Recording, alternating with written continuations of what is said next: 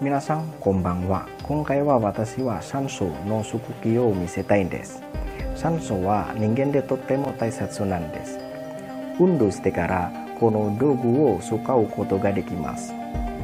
酸素の速記の使い方がとても簡単です。